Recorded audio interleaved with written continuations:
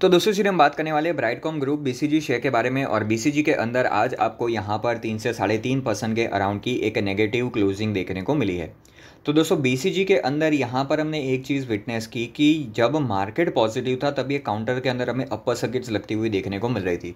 और जब यहाँ पर मार्केट नेगेटिव है तो इसके अंदर लोअर सर्किट नहीं लग रही, लेकिन गिरावट तो थोड़ी थोड़ी सी यहाँ पर चल रही है। तो इसका मतलब ये है कि ये काउंटर अब पूरी तरीके से स्टॉक मार्केट के साथ चलता है। ठीक है, पहले जनरली यहाँ पर क्या होता है कि जो सर्किट वाले स्टॉक्स होते हैं मार्केट ऊपर जा रहा है, नीचे जा रहा है, उनको कोई मीनिंग नहीं है, वो एक तरीके से ऊपर चलते जाएँगे और जब मोड होगा ऑपरेटर का तो वो एक तरीके से उसको नीचे ला देंगे। ठीक है?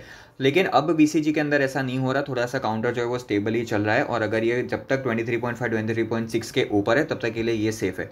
एक बार अगर यहाँ से 23.5 23 3.6 के लेवल को अगर इसने ब्रेक कर दिया तो सीधी गिरावट होगी 20 तक 20 के नीचे 18 18 के नीचे सीधा फॉल आ जाएगा यहाँ पर 16 तक का।